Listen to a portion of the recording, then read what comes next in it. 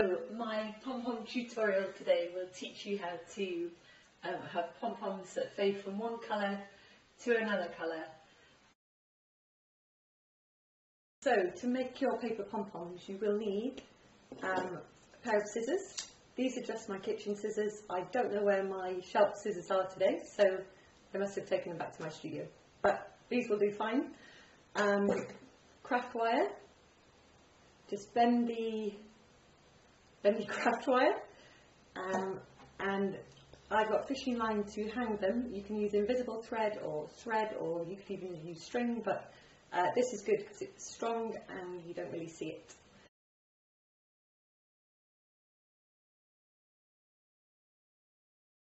So as I said, 12 sheets of tissue paper.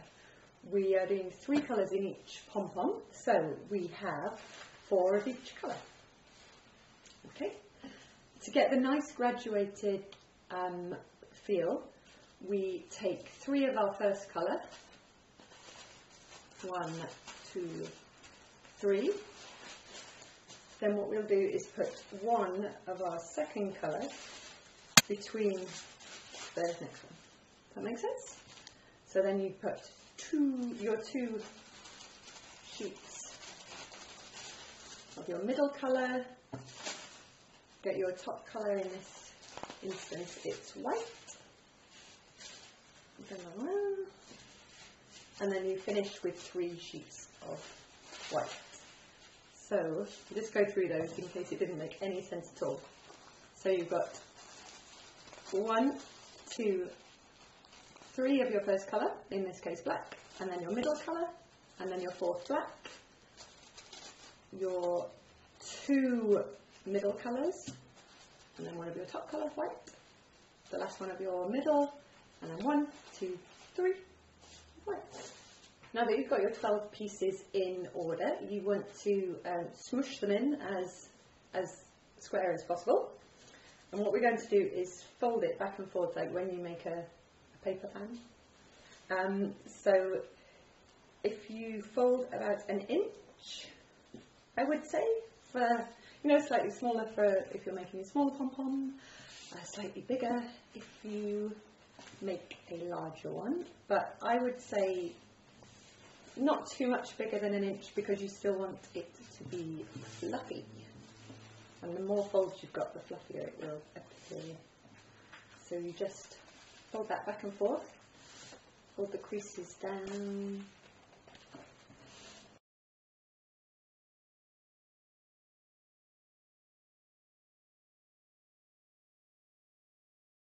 should finish off looking like that.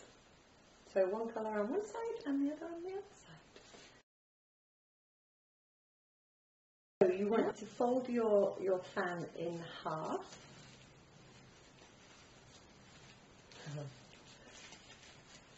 So it's like that. And then if you take a piece of wire, um, about that long. Give it a snip. And what we're going to do is uh, twist it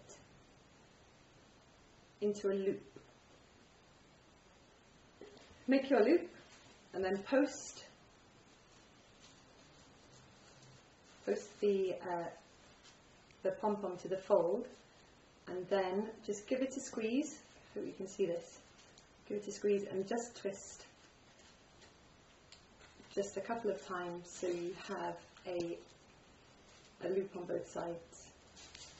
Can you see that? help? Hopefully uh, you can see that. So now it's, it's secure and you're ready for the next stage. what we want to do is make the edges of the fan um, rounded like this. So what you need to do is just just cut.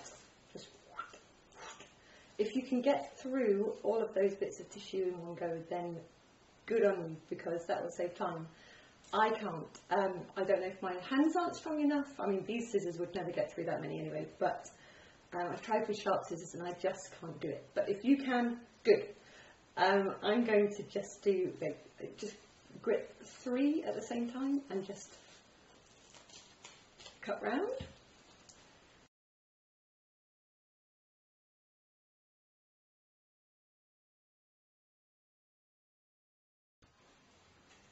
Try and make them as rounded as possible.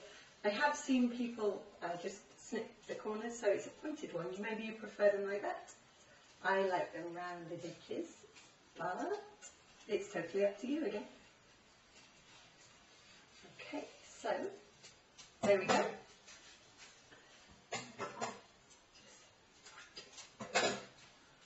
Now we've got two, two rounded edges. For making your pom-poms um, ahead of schedule, say, you know, over the months towards your wedding or your party or whatever, um, this is the stage you want them to get to. You can fold them in half, pop them all in a box, cover them, put them somewhere dry and um, dark.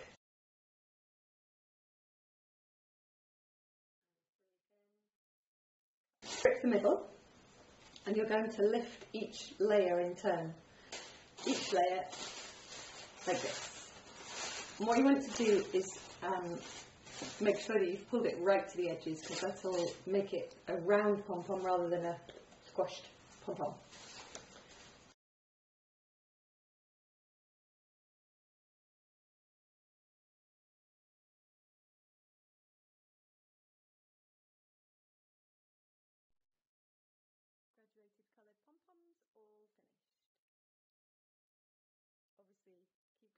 Until you've got all the ones that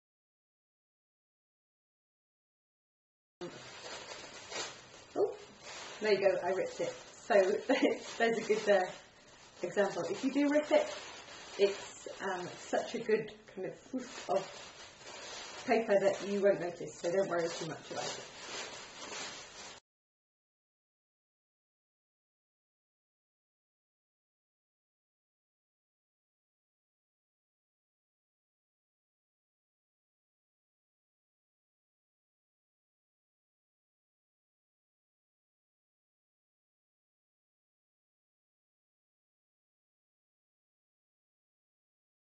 Now we almost have a pom-pom, but obviously some bits are flat and some aren't.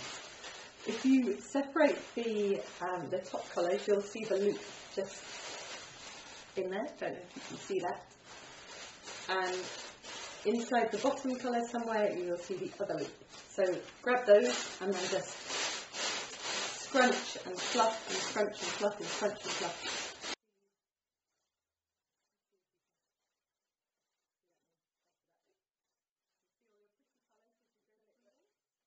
And there you go.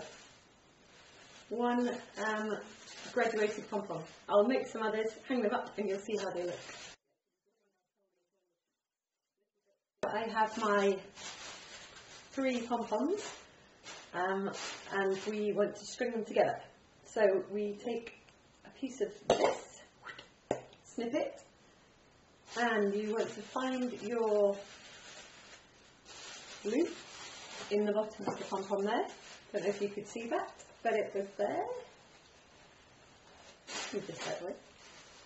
Just tie one little knot on the bottom. And what you want to do is match the white to the white.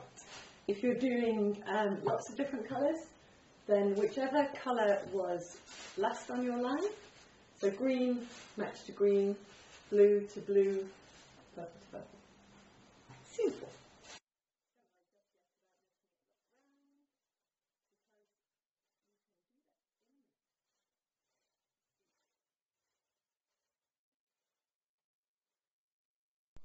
Number one, yellow, orange, red.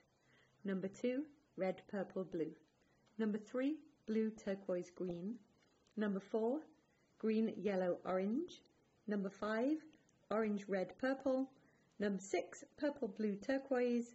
Number seven, turquoise, green, yellow. And then we go back to the top again.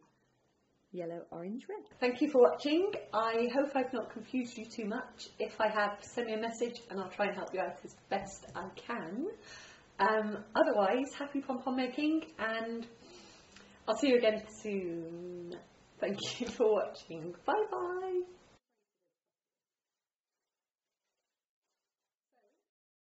Fade to white or to grey or to. What am I talking about?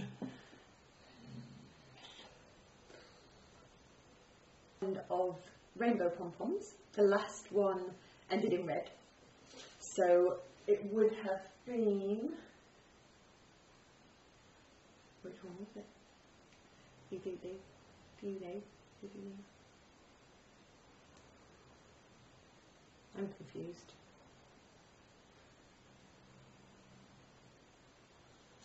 Um, but I have forgot what I was saying.